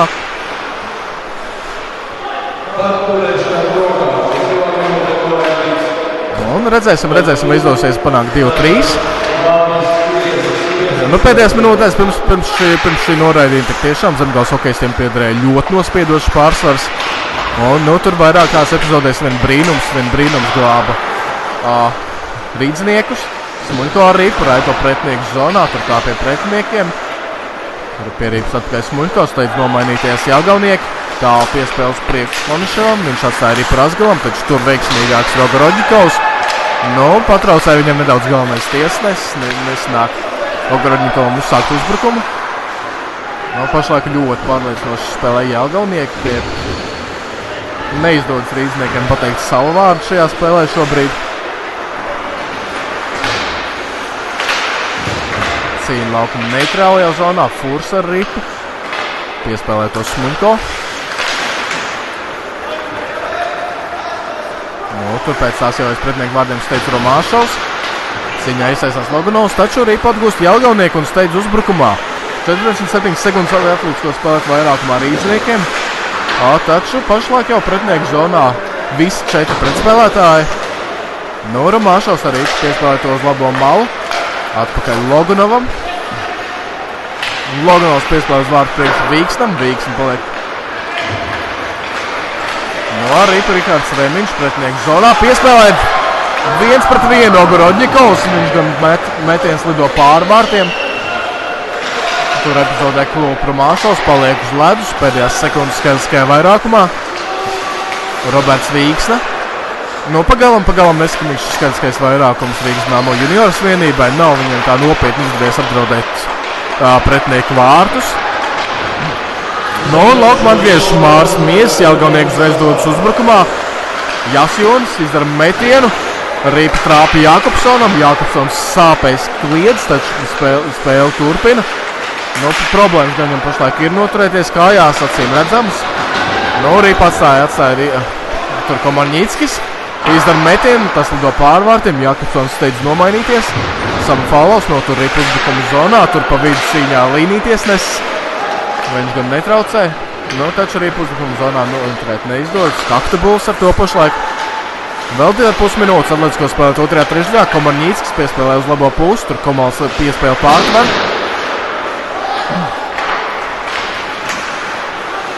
Benhards. Nomainās rīdznieki. Nu, un atkal, atkal ļoti veik, veik, veikli izdodas pretinieku zonā nonākt Jelgavniekiem. Tur Mārs Miesas arī plaukums stūrī. Cīņa laukums stūrī turpinās. Tur iesaistījušies četri spēlētāji. Piespēle uz zilo līniju, metiens vārtu virzienā. Nu, centās metienu pielabot Batraks, tas gan neizdevās. Nu, turpina ļoti aktīvi spēlēt. Jālgalnieki arī pēc mazā, skaidrs, kā mazākuma izciešanas spēles gaita būtiski nav mainījusies. Nu, pašlaik pacēla tiesneša roka un fiksēts tiek pārmetiens. Pašlaik līdz otrās trešdaļas izskanēja atlikusi minūte un 26 sekundes. Kārtējs iemetiens sekos Mārija Jučera sargāto vārtu priekšā. Jā, nu, Jučeram šajā periodā tiešām ļoti daudz darba. Lai gan pirmajā periodā viņš ielaida divus vārdus un izturēja arī lielo skaitlisko mazākumu. A, šajā periodā Jālgaunieku pārsvars ir krietni izteiktāks, krie, jau krietni nopietnāk viņi apdraud apdraud rīznieku vārtus. Arī tagad tiem tiek aizdots uzvarēt, uzreiz metiens no zilās līnijas, jo Čers ar to tiek galā.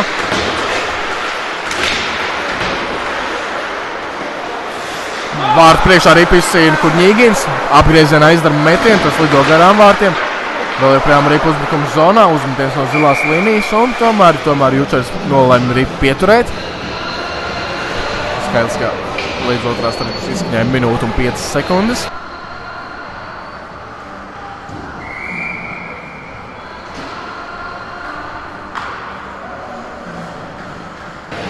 Iemetienā Žučkovs, Kristofs Millers, uzreiz pēc iemetiena metiens, tur pie atlikušās rips neizdevās nonākt par Ņīginam. Tikmēr priekšrājus Franks Rasgals apspēlē divus pretspēlētājus, taču vēl joprojām turpina vadīties arī piespēle vārtu priekšā.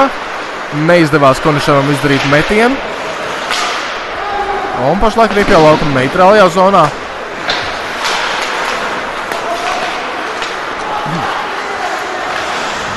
No tur, kur Ņīgins piespēlē to Milleram, Millers vienatnē.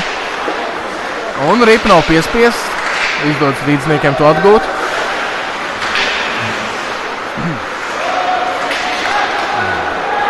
Franks Rasgals, pretinieks zonā. Tur uzmetiens no zilās līnijas, lido gan tālu vārtiem. Minējies ar ripu. Nu jau pēdējās sekundes otrajā trešdaļā.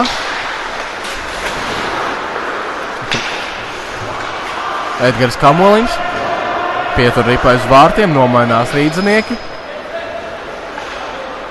Nu, taču tikmēr atskan, atskan svilpu, līdz ar to otrā trešdaļa noslēgusies.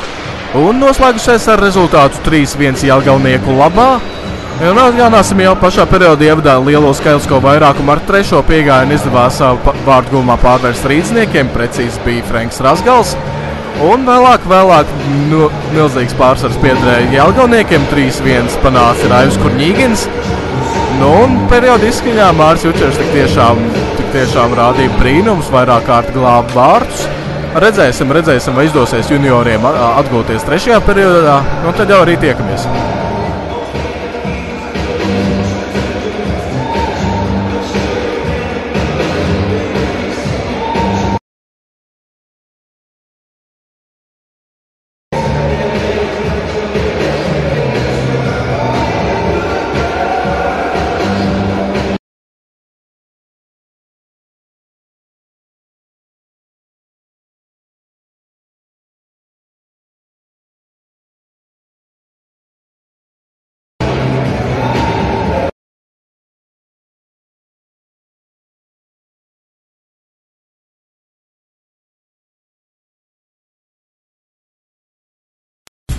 Kompresijas apģērbs, komanda ekipējums, sporta uzturs, Mueller sporta teipi un ortozes, inventārs sporta zālēm, hallēm un arēnām.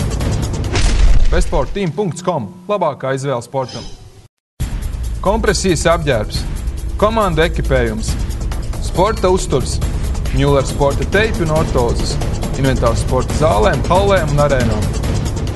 Bestsportteam.com - labākā izvēle sportam.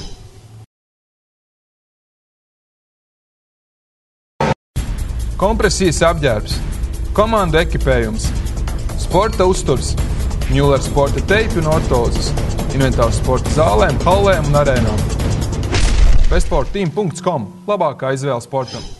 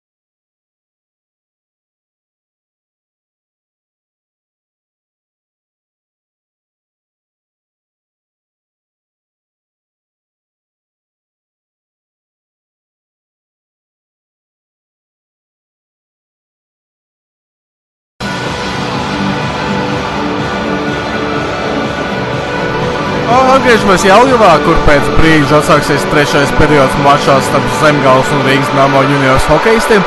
Atgādināsim, pēc pirmajām divām trešdaļām rezultāts pašlaik ir 3-1 Zemgals hokeistu labā. Nu, otrās trešdaļas ievadā izdevās, izdevās junioriem beidzot gūt vārds ar trešo piegājienu, realizējot lielo skaitlisko vairākumu. Toreiz precīzi bija Franks Rasgals, viņam tie bija jau septītie vārds šajā sezonā. Taču vēlāk visu periodu gaitā milzīgs nospiedošs pārsvars pietrēja Jāgauniekiem. Nu, un periodu vidū 3-1 zemgals hokejs labā panāca Raivs Kurņīgins. Pašlaik spēle atsākusies un pašlaik arī kontrolēja Jāgaunieki. Rihards Remiņš ar to dodas uz priekšu, lielā tempā trauc cauri visai vidzonai, atstāja rīpu aplokam, viņš arī izdara metienu, taču, taču atskan tiesneša svilpe. Iemtiens sekos rīdznieka aizsardzības zonā.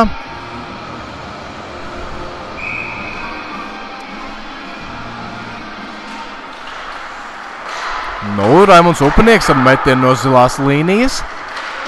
Jočars to tiek galā, pašlaik cīņa par rīpu aiz vārtiem. Tur izdodas Jālgavniekiem rīpu saglabāt, piespēle vārtu priekšā. Labā situācijā nonāca Rihards Remiņš, taču metienu vārtiem tā arī ne, nespēja izdarīt. Pacēla tiesneša roka. Noraidījums būs rīdznieku rindās. Nu, un par pretinieku turēšanu nūju. Uz noraidīto soliņu dosies kāds no rīdzniekiem. Vienu brīdī, kad spēlēts sniegt 40 sekundes trešajā periodā. Un šķiet tas ir neviens cits kā 58. 58. numurs aizsargs Minājevs. Nu, un lieliski izdevība Zemgājas hokeistiem jau trešā periodā ievadā izšķirt šī mača likteni, jo nu skaidrs, ja viņiem izdotos panākt trīs vārtu pārsvaru, līdz ar, līdz ar to maz ticams, ka Dienāmo juniors hokejs no tā spētu atgūties.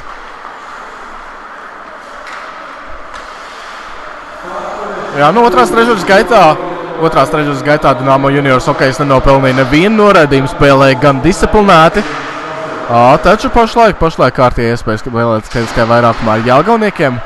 Tur zilās līnijas ripu notur zonā bulītis. Gricīnskis ar ripu meklē partnerus. No pašlaik ļoti statisks skaidriskais vairākums Zemgājas hokeja izpildījumā. Praktiski nekustās neviens no spēlētājiem. Bulīts piespēlē uz vārdu priekšu. Tur, tur Ozols izdara metienu. Un Jočers arī piespiež. No 50 sekundes aizdīts jau skaitliskā vairākumā. Pašlaik Zemgājas hokeistiem gan ir izdevies izdarīt tikai vienu metienu. Ļoti gauss, ļoti gauss skaitliskā vairākuma visu spēli līdz šim. Un laukumā, laukumā Jālgauniekiem vēl joprojām pirmais uzbrucēja virknējums. Gricīnskim iemetienā uzvarēt neizdodas. Un Rīpa arī atstāja, atstāja Jālgaunieku uzbrukumu zonu.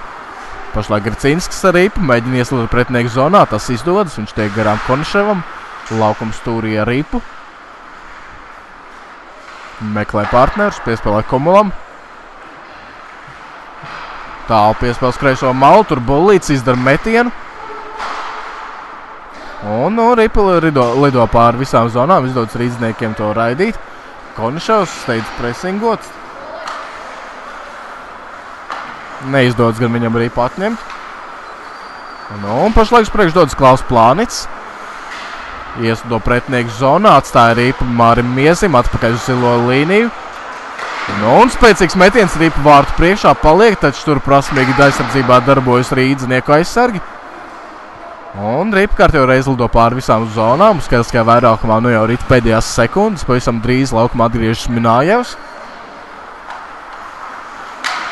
Arī Toms Nuka jau signalizē par skaidrs, kā vairākumu beigām. Nu, tikmēr pa labo malas priekšdodas Klaus Plānits. Aizsado līdz laukuma stūrim, piespēlē Rīpa Batrakam. Miezes. Plānits atpakaļ Miezim.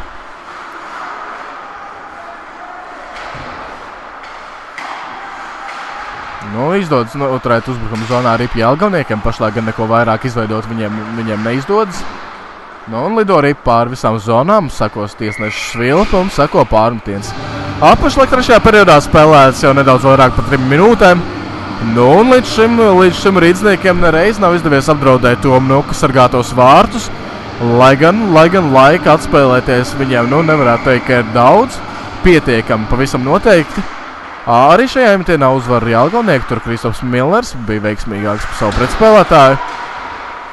Nu, pašlaik cīņa pie laukuma apmales. Tur Artūrs Loganovs, junior kapteinis. Nu, un Rīpa raida pār ārpus laukuma Jālgaunieks par spēles laika vilcināšanu. Par spēles laika vilcināšanu Artūrs Loganovs dodas uz noraidīto soliņu. Un jau otrā iespēja šajā periodā skaidrs, kā vairākumā spēlēt uh, rodas Jālgauniekiem. Nu, iepriekšējā vairākumā nu, tika izdarīti 2-3 metieni pa jučera sargātajiem vārtiem.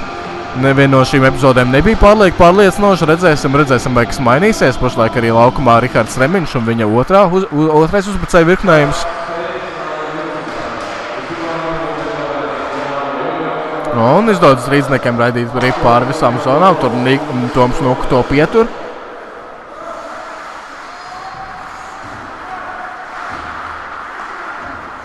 Ārtjums Ogorodņikovs.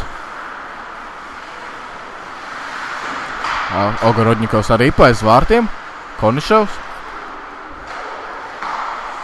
Piespēle Komulam. Reins Demeters atpakaļ Remiņam. Remiņš rāda, ka metīs, taču pagaidām pietur rīpu, piespēlē to aplokam. Aploks tuvojas vārtiem, izdara metienu. Nu, izdodas Jučeram to atvairīt. Jāsjons pašlaik arī tur aiz vārtiem piespēlē Ogrodņikovam nav precīzi. Vēl precīzi minūtes, skaidrs, kā vairākumu atletisko spēlēt Jālgauniekiem. Nu, pašlaik, pašlaik šis vairākums jau ir, jau ir aktīvāks Jālgaunieku izpildījumā, taču līdz metienam tā īsti viņiem neizdodas nokļūt. Nu, Viņš noteikti neveiksmīgi nospēlēja Mārcis Jučers. Tur reņģa Demetera metiens no zilās līnijas. Viņš jau spēja atvairīt vienam plecu, arī paliek vārtu priekšā. Taču izdodas rīzniekiem to raidīt pāri visām zonām. Arī pašlaik veiksmīgi darbojas juniori. Toms Berhards, pret viņu spēku paņēmiens. Nu, un atkal, atkal Rīpa lido pāri visām zonām. Tur pēc tās steidz Raimons Upenieks.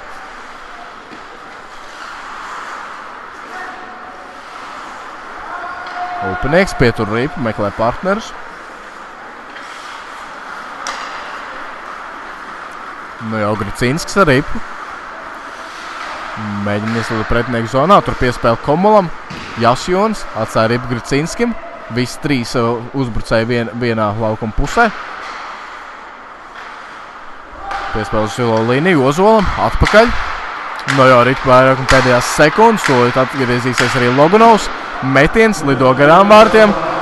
Nu, visnotaļ mierīgi, visnotaļ mierīgi iesācies trešais periods par spīti diviem vairākumiem. Nevarētu teikt, ka Jālgaunieki par visām varēm censtos gūt ceturtos vārtus. Pašlaik Jāsjons arī uzbrukums zem, Zemgales izpildījumā turpinās.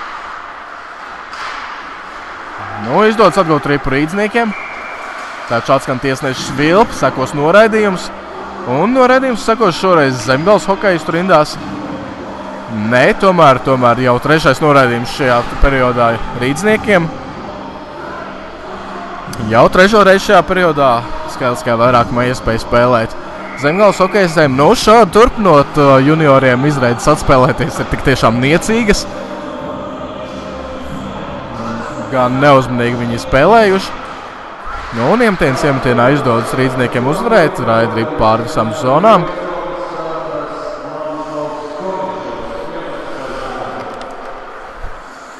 Pašlaik Arthurs Batraks ar ripu. Trauc cauri viduszonai. Gandrīz, gandrīz viņam izdodas arī sasniegt vārds, taču tomēr patraucēja rīdznieku aizsargi. Batraks.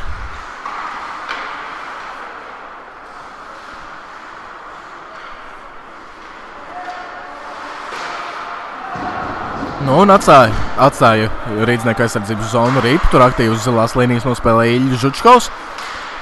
Jorens Grauds centās mest, taču tur, tur tas tika bloķēts. Nu, un tikmēr Rīpa atkal lido pāri visām zonām, nomainās abu komandu virknējumi. Pašlaik pēc Rīpas steidz Mārs Miezes, viņu nomaina Raimons Upenieks.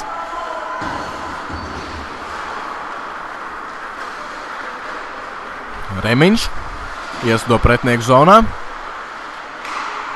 Nu, piespēle gar, gar apmalu, tur, tur pie tās nonāk Reinis Demeters. Artiņš Sagorodņikovs izdara metienu pa vārtiem. Tur ir vārds priekšā, acīgāks Arthurs Loganovs.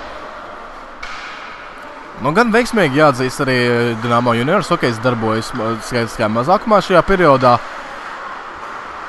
Rihards Reimiņš iestādo pretinieku zonā.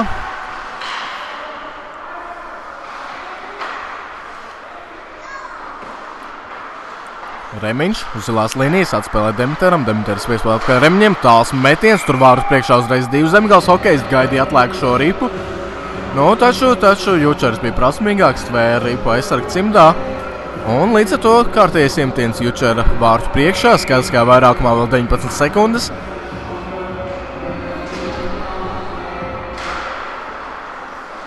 Toms Bernhards, Raidrība gar apmalu, tur izdodas Demiteram to noturēt zonā.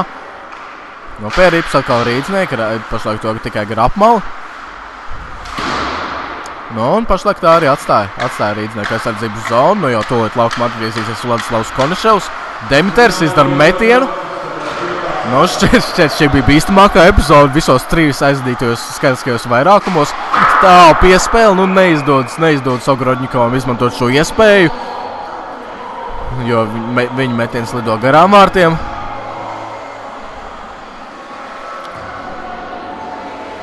No, un Iemtēns sakos rīdznieku aizsardz uh, laukuma neitrālajā zonā. Iemtēna punktā Kristaps Millers. Izdodas Žučkovam tajā uzvarēt, viņš arī ar ripu cenšas piespēlēt uz centru. Nu, pa, pa, piespēle tomēr sasniedz Šļaņikovs. Metiens no zilās līnijas pa gaisu, vārtu priekšā ripa. Nu, un piespiež to tomēr Toms Nuka. Aktīvs, aktīvi vārtu priekšā cīnījās Franks Rasgals. Nu, nu jau 11. simtens būs uh, Jālganieka aizsardzības zonā. Trešajā periodā spēlēts 8 minūtes.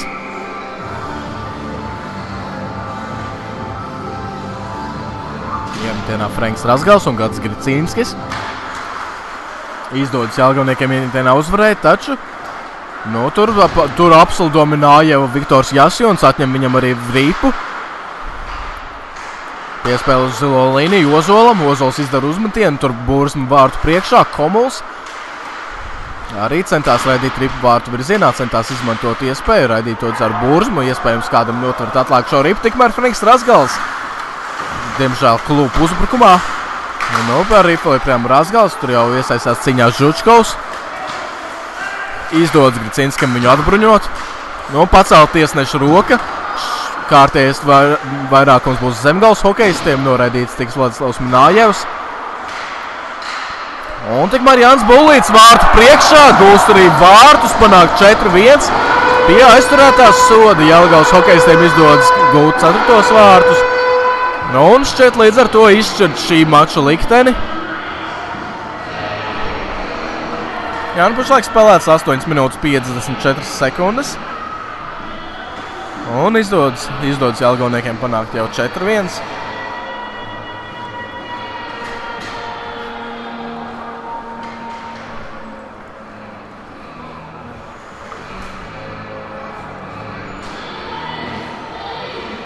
Ņemtienā Klaus Plānits.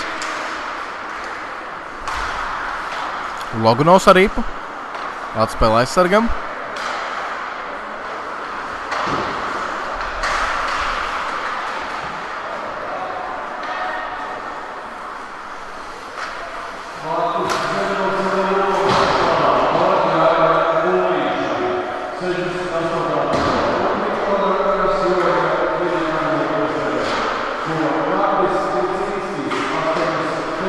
Nu, un otrais vārdu gūms šajā spēlē jau ir Gatam Gacinskim, tikmēr turpina uzbrukt Jālgaunieki. Nu, un arī atstāja laukumu, iemetiens sekos neitrālajā zonā. Nu, un pašlaik līdz, nu, visticamāk jau mača beigām atlicis spēlēt vien, vien nedaudz vairāk par desmit minūtēm.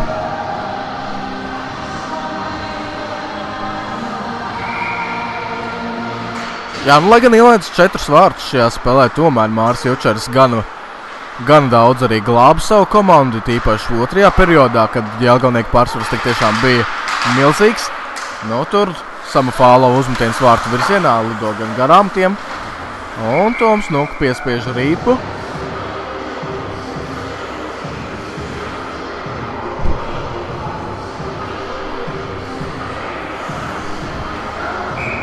Nu, abi komandu virsnēm paliek laukumā, attiecīgi iemtienā Samafālaus un Klaus Plānits.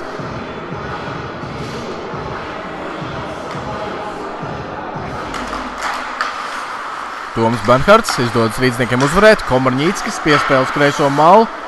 Nu, un tur piespēle bloķē Batraks arī pats savu laukumu.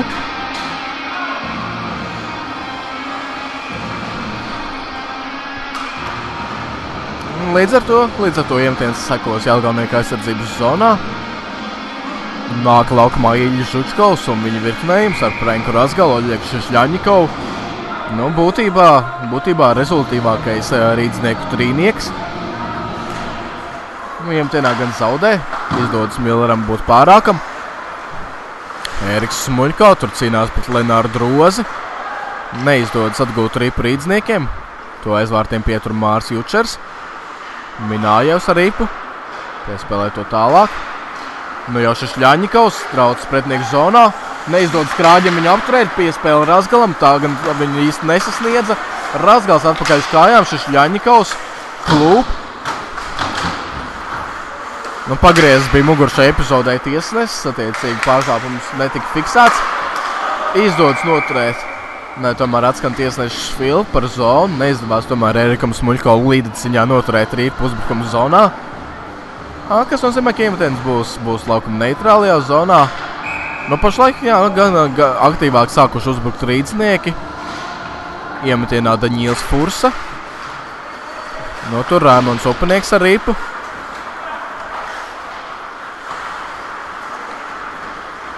Nu jau Reinis Demters. Piespēle Remiņam. Remiņš aiz vārtiem. Nu, pašlaik Demters pirmais nonāks pie rips, taču to, tomēr rīdznieki to atgūst. Nu, neprecīzi piespēle Loganovs īsti to uztvert nespēja. Reinis Demters meklē partnerus, atstāja ripu Ogorodņikovam. Nu, tur, tur laukuma vidusdaļā Fūrs izpilda spēku paņēmienu.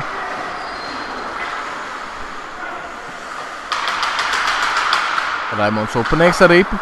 Piespēles priekš. Nu, daudz, daudz, daudz, daudz laika pēdējās minūtēs tiek aizdīts laukuma viduszonā. Ļoti neveiksmīgi nospēlēja Toms Nuka. Nu, tur ripa pēc metiena palika turpat viņa vārtu priekšā. Viņš to neredzēja. Un, nu, veiksmīgā kārtā pirmais pie tās nonāca Zemgals aizsargs.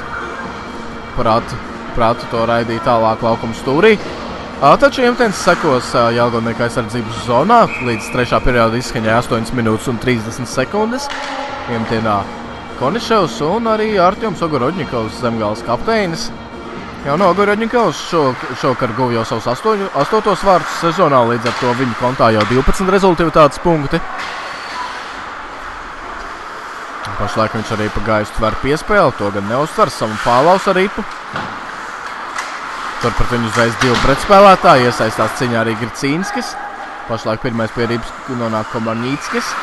Apspēlē viņš veiksmīgi Reina Demiteru. Koniševs piespēles centru, metiens. Tur, no, tur gan metiens atstas pret Gricīnskas slidu.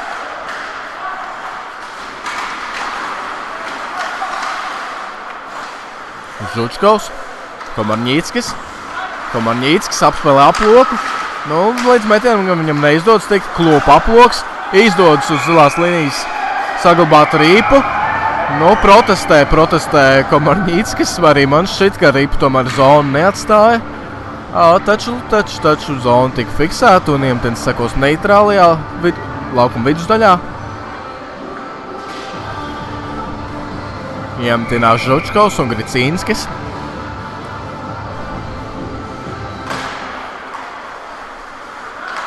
Ozols piespēle bullītam.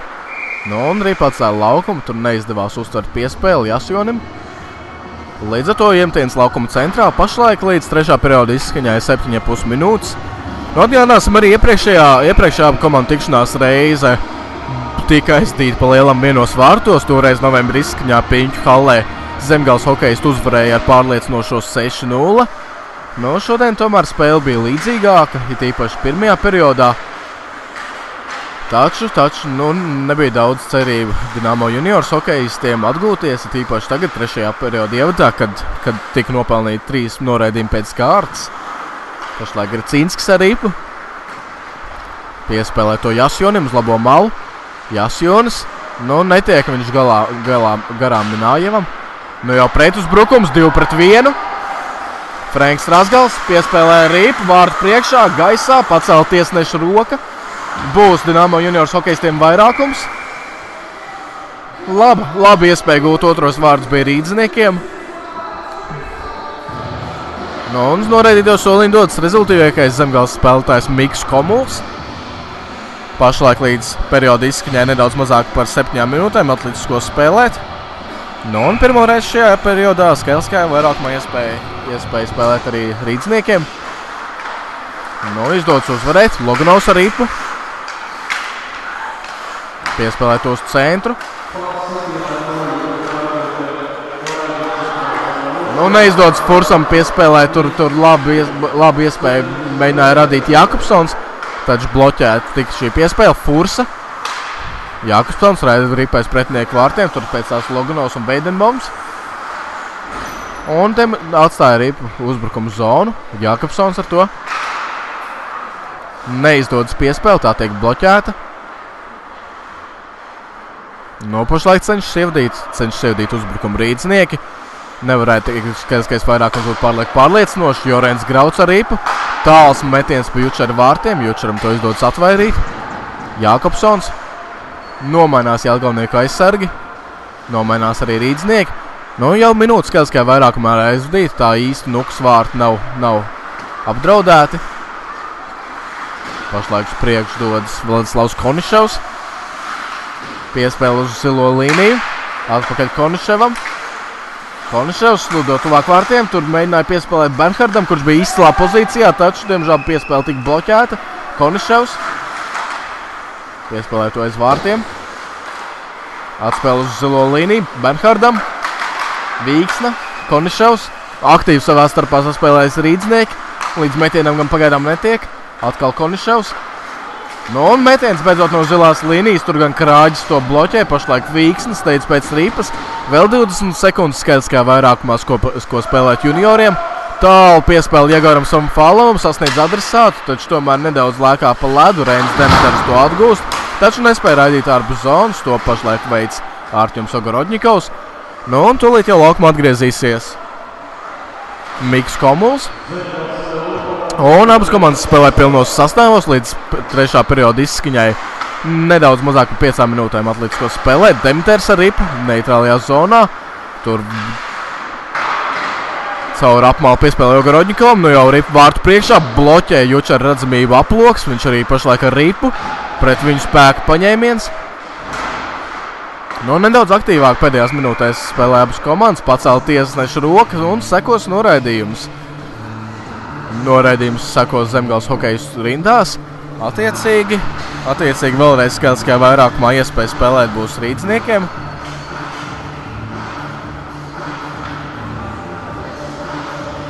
No, uz noraidīto soliņu dodas Reinis Demeters. Viens no vadošajiem zemgāles aizsargiem.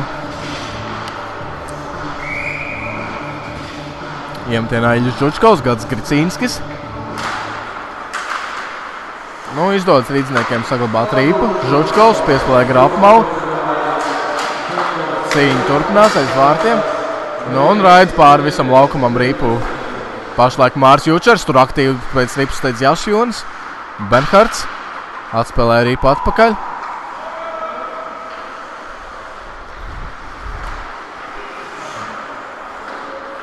Tālu piespēles kreiso laukumu pusi.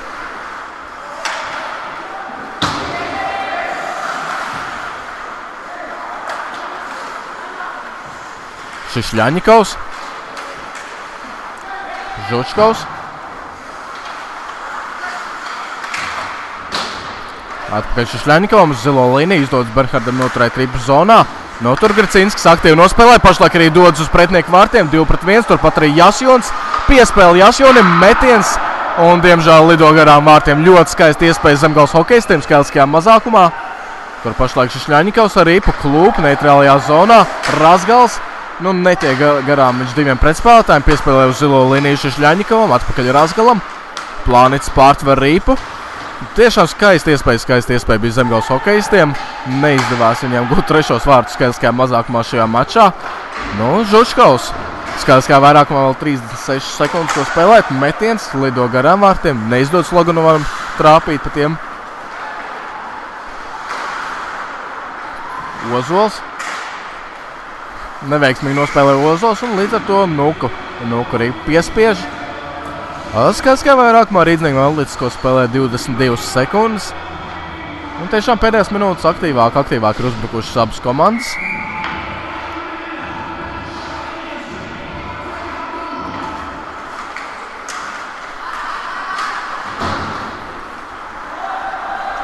Uzvar rīdznieki. Jučers aiz vārtiem pietur ripu.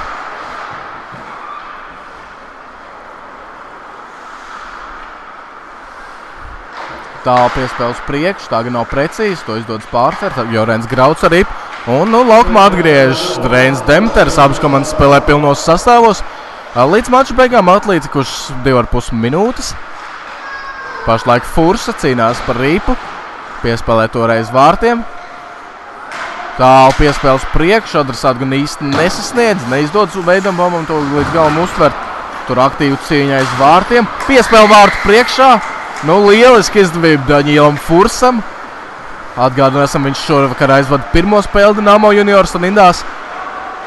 Un, nu, līdzīgi kā, līdzīgi kā Kristēns Bormans, arī viņš šovakar bijis viens no pamanāmākajiem junioru uzbrucējiem. Nu, ticams, ticams, ka izdosies viņam nospēlēties komandas sastāvā, kur Ņīgins pār, nu, pārtver piespēles zilās līnijas no tur ribu zonā. Tur uh, Olafs Aploks izdarīja arī metienu. Nu, pašlaik, pašlaik Loganovs traucas vienu ne uz priekšu pret trim pretspēlētājiem, izdara metienu. Nu, ripa gan trāpa pa krāģi kājas sargu. Strauss, nu, un ripa atstāja zonu. Nu, nedaudz mazāk par pusotru minūtu atlīdz līdz mača izskaņai. Iemetiens zemgals hokejas aizsardzības zonām.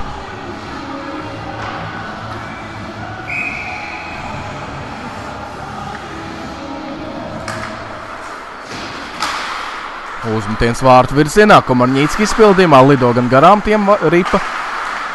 Un tur spēka paņēmiens Konišaus.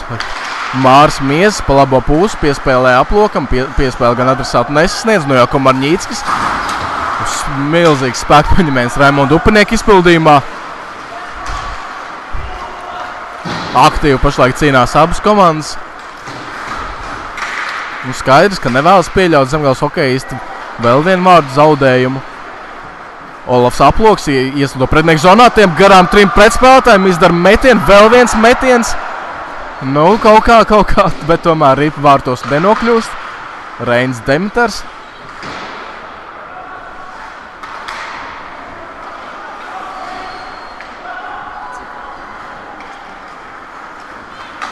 Raimons Upenieks.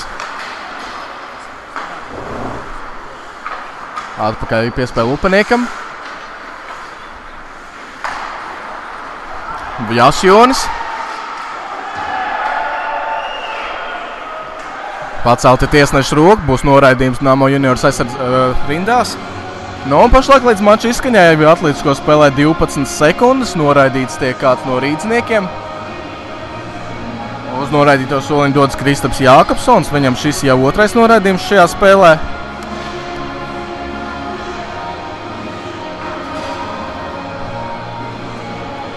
Jā, nu arī līdz, līdz šajās trīs abu komandas tikšanās reizēs pārāk bija zemgals hokeisti.